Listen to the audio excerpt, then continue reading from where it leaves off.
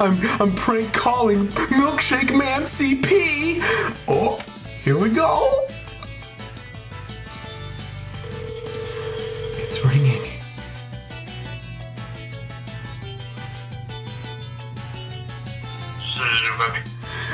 Hey Brady, do you have Prince Albert in a can? Um, I don't know. Let me go check.